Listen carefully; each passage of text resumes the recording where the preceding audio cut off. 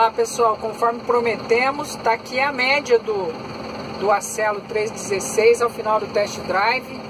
Conta aí, Moita, como é que foi a então, performance? São 48 km a velocidade média, né? Com 6,3 de consumo, né? Isso é consumo de automóvel, né? E nós estamos carregados com é, 13 toneladas. Beleza? Foi uma bela média, hein? Parabéns para Dilene. Parabéns, Dilene. Parabéns para Dilene e para o professor Moita, né? Porque senão as dicas valiosas do Moita aqui, como sempre, me ajudaram. Mas realmente, uma média muito boa de consumo, equivalente a um carro de passeio. E nós estamos finalizando aqui, ó. Vocês podem ver os funcionários da Mercedes já deixando o seu primeiro turno aqui.